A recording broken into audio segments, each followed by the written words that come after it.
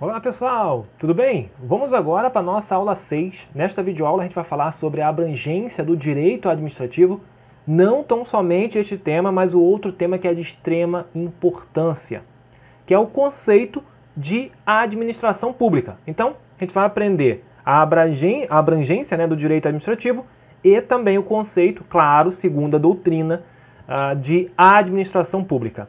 Então, vamos lá. Mas antes, ó, não esqueça de se inscrever no nosso canal, não esqueça de deixar o seu like, isso que é muito bacana e ajuda a gente demais, beleza? Não esqueça de compartilhar também com alguém que esteja estudando uh, direito administrativo, com certeza. Então, pessoal, abrangência do direito administrativo, aqui a gente vai ver exatamente onde, né, até onde uh, o direito administrativo regula, né, tem essas normas. Vou voltar para cá, para o slide. Então, a abrangência do direito administrativo até onde o direito administrativo normatiza, né? A gente já tem esse conceito que a gente já aprendeu lá na introdução, né? Tudo que uh, o direito administrativo abrange, mas a gente vai recapitular aqui novamente. Primeiro temos as atividades administrativas. É claro, isso aqui é óbvio. Tá, pessoal? É óbvio que sim. As atividades administrativas, né? Óbvio, o direito administrativo, ele regula a respeito das atividades administrativas, que é tudo, né? Administrativas, né? que é tudo que a gente vai aprender no decorrer dessa playlist. As atividades administrativas de quem? Do Poder Executivo. É uma atividade típica do Poder Executivo. A gente vai ter uma aula só sobre poderes, Poder Executivo, Poder Legislativo, Poder Judiciário. A gente vai ver as atividades, né, as funções típicas e atípicas de cada um. Beleza? Mas lembrando que atividades administrativas é típica do Poder Executivo. Eu costumo dizer que ele nasceu para isso, ele nasceu para administrar. Por isso, o prefeito, o governador, o presidente, ele é um mero administrador, tá bom? Temos também, pessoal, as atividades administrativas no poder legislativo e no poder judiciário. Como eu disse, a gente vai ter uma aula própria sobre isso. O que a gente precisa saber agora é que essas atividades administrativas, dentro desses dois poderes, é uma atividade atípica, é uma atividade secundária, grosseiramente falando, secundária. Até porque a função típica do poder legislativo é legislar e a função típica do poder judiciário é julgar. Lógico, né, que para eles se organizar, eles, né, se organizarem, eles precisam ter dentro, né, dos seus poderes, né, em cada poder aí, uma atividade administrativa para contratar um pessoal, para fazer uma licitação, ou seja, aquela parte administrativa. Claro que sim, mas lembrando que é atípico. Além desses, o direito administrativo abrange também as relações internas, né? A administração pública. Ou seja, a gente sabe né, que a administração pública é um conjunto de órgãos e agentes e o direito administrativo está lá como? Regulando tudo isso. Como que vai ser né, essa hierarquia? Como que vai ser esse, esse, essa relação jurídica entre o agente, entre o servidor público e a administração. Além disso, as relações entre a administração e os administrados. Neste caso, esta relação pode ser de direito público, né, na maioria das vezes, claro, ou privado. Um exemplo da relação entre administração e administrados, pessoal, é a fiscalização. Como, por exemplo, nos municípios né, tem os açougues.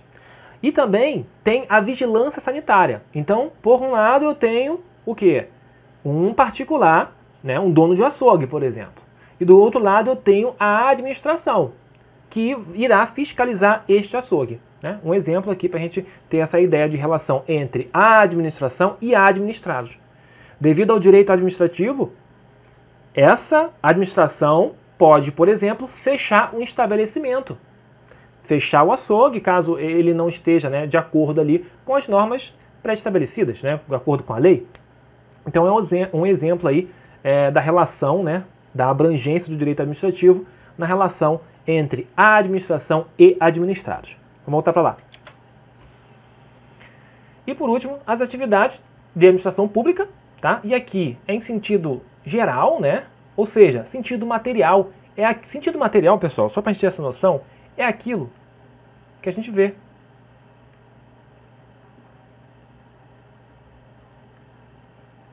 Beleza? É o sentido material. Essa atividade pública ela pode ser exercida diretamente ou por concessão ou permissão. Um exemplo é o transporte coletivo de passageiros, né?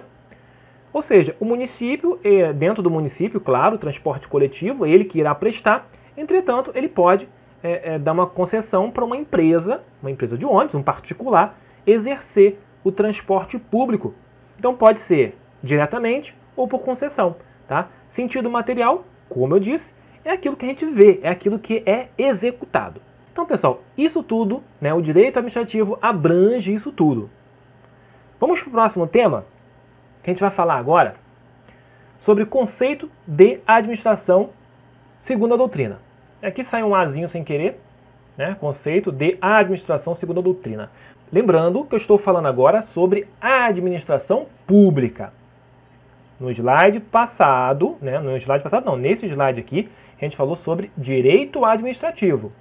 Beleza? Agora a gente vai falar sobre administração pública. Mudou um pouquinho, né, mas é, é, tem relação aqui. Vamos lá, volta para mim aqui. Antes da gente começar, é importante a gente saber o seguinte. A administração pública, o que é? A gente já sabe, né? No decorrer, assim, é, no dia a dia a gente consegue ver a administração pública. Mas segundo a doutrina. Então, pessoal, segundo a doutrina, a doutrina, né, ela separa dois conceitos de administração pública. De um lado, a gente já está acostumado. É aquilo que a gente vê. É a execução, é a ação. Ou seja, a administração pública é aquela que exerce função administrativa. Este é o sentido estrito, ou estrito senso, que a gente vai estudar logo agora. Por outro lado, eu tenho um sentido amplo, a administração em sentido amplo. Isso significa que abrange mais coisas. Ou seja, além das funções administrativas, abrange também metas, diretrizes. Isso devido aos órgãos superiores, que são aqueles órgãos, né, os ministérios, por exemplo, né, os ministros lá da, da presidência. Então, os ministérios abrange aquele, aquele órgão né, que tem poder então, só para a gente ter essa noção. De um lado, é só uma função administrativa simples, do outro, é, tem a ver mais, né, além da função administrativa, tem a, ver, tem a ver também com políticas públicas, com diretrizes, beleza? Com metas.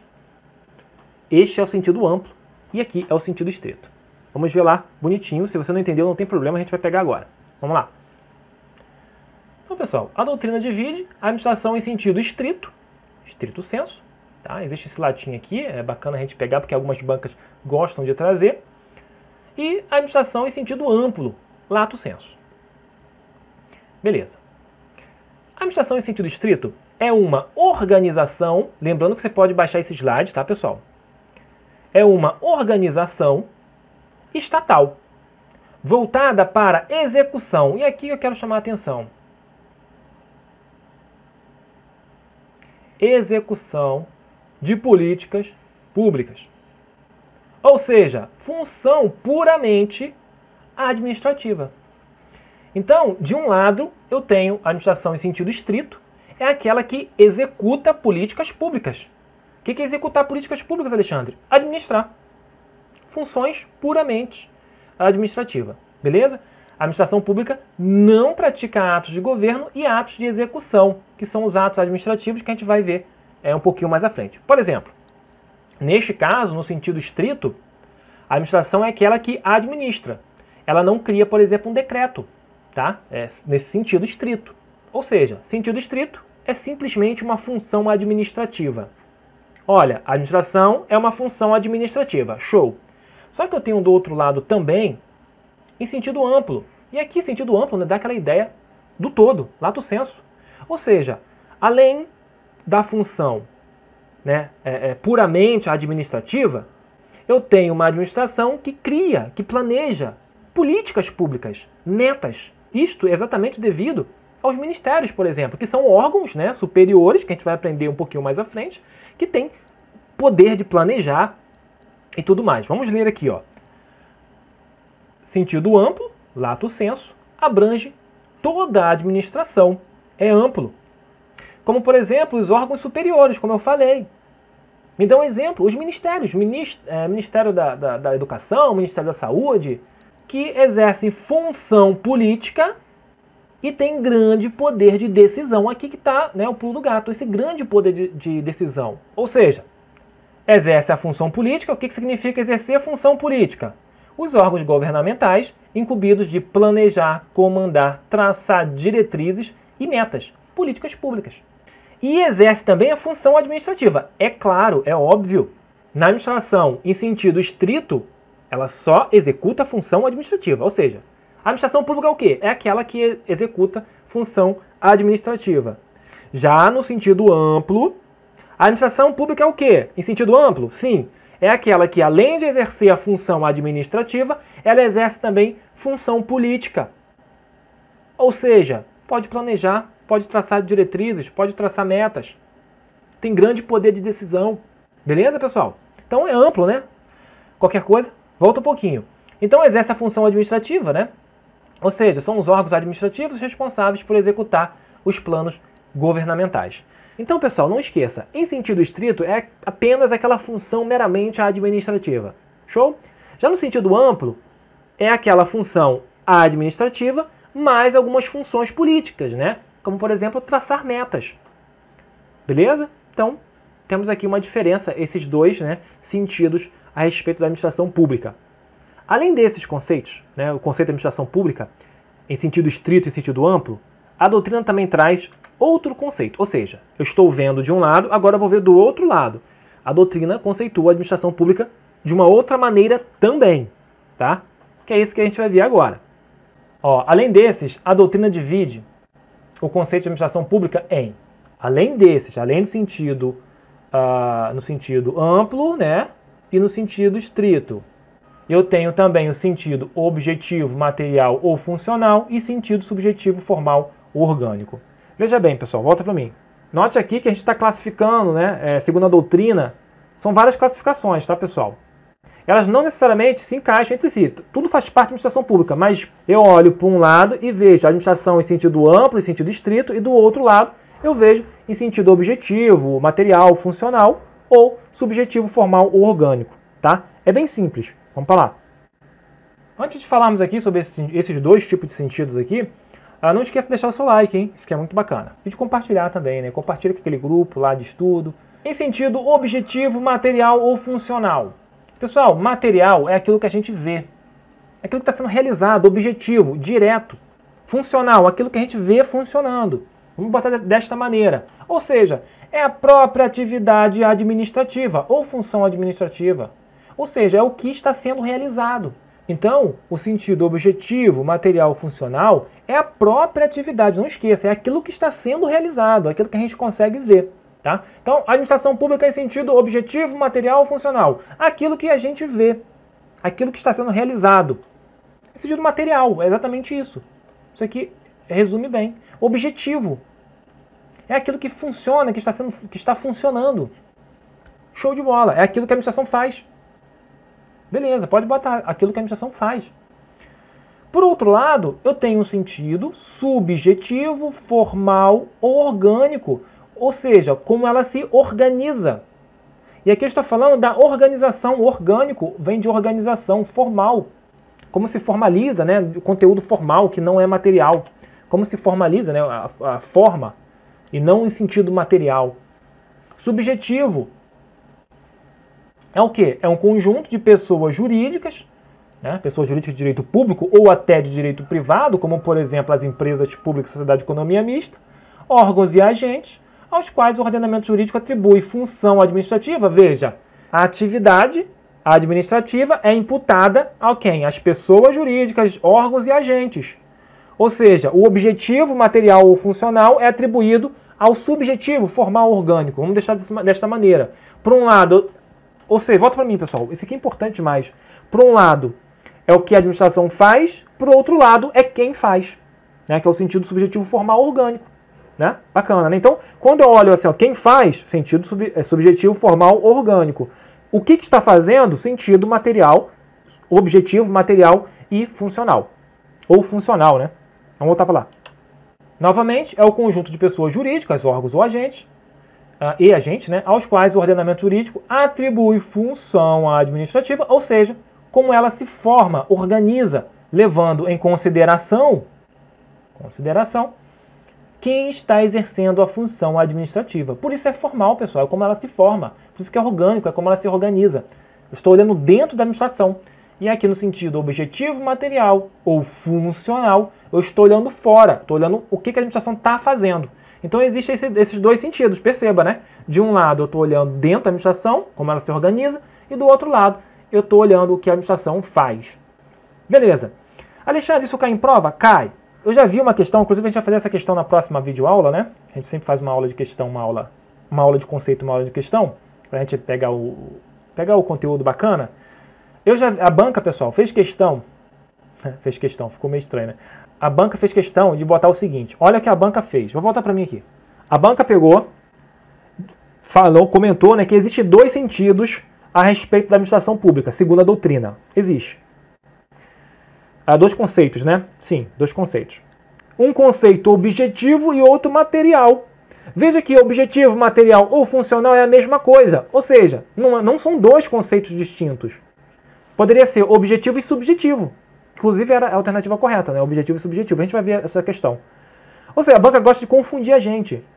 Por exemplo, a administração pública se divide em dois conceitos: objetivo e material. Não, a gente está falando de um conceito apenas ainda. Objetivo e funcional. Não, continuamos falando, continuamos né, falando aqui é, do mesmo conceito. É, material e funcional. Não, ainda estamos no mesmo conceito, é a mesma coisa. Objetivo, material ou funcional. Eles caminham junto, é, uma, é a mesma coisa. Por exemplo, do outro lado, né, subjetivo e formal. Não, estamos falando ainda do mesmo sentido. Subjetivo ou orgânico. Estamos falando ainda do mesmo sentido. Seria sentido diferente se a gente falasse, né? Objetivo e subjetivo, material e formal, né? Ou formal, funcional ou orgânico. Aí sim, né? A gente está pegando um de cada, perceba.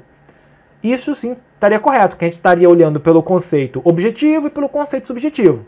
Pelo conceito objetivo, o que a administração faz, pelo conceito subjetivo, o quem é, quem, é quem é está fazendo exatamente, o conceito né, interno, quem faz parte da administração. Volta para lá. E para a gente gravar, pessoal, o texto mnemônico aqui, não foi eu que inventei, obviamente, mas é muito bacana. O mate funciona. Forma suor. É um verso, é uma. Aqui não faz nem sentido que isso aqui, mas é interessante, ó. O mate funciona. Aqui nesta, nesta frase aqui, o mate funciona, eu tenho todos os né, que fazem parte de um sentido, que é o objetivo, material e funcional. Para não confundir, o mate funciona, beleza. Objetivo, material ou funcional, eles caminham juntos. Você não pode separar. A doutrina fala, ó, é nesse sentido, objetivo, material ou funcional. Por outro lado, eu tenho outro sentido, que é forma, suor, né? Forma suor aqui. Forma é, formal, aqui não está em ordem, né? Obviamente, pessoal. É, formal, su, subjetivo, or, orgânico. Caminham juntos. Anota aí. O mate, aliás, precisa anotar, né, que esse material vai estar disponível para vocês baixarem. O mate funciona forma suor. O objetivo, material ou funcional, e do outro lado eu tenho o subjetivo formal orgânico. Então, pessoal, chegamos ao fim. Esta vai ser, volta para mim aqui, ó. Esse conceito aqui é o mais complicadinho, eu acho, na minha opinião, de todo o direito administrativo. Olha que bacana, né? Claro que vai ter algumas coisas assim mais, mais chatinhas, mas volte e assista a videoaula de novo se você não pegou, beleza? Deixe seu like se você gostou desse vídeo. Vamos fazer algumas questõezinhas agora para ver como exatamente isso cai em prova. Não esqueça também de seguir a gente lá nas redes sociais. Segue a gente lá no Instagram. Então, tá aparecendo algumas playlists aqui, ó. Dá uma olhadinha. Pode ser alguma coisa que te interessa. Tem uma playlist de direito administrativo completa. E eu vejo vocês na próxima videoaula. Até lá, tchau, tchau!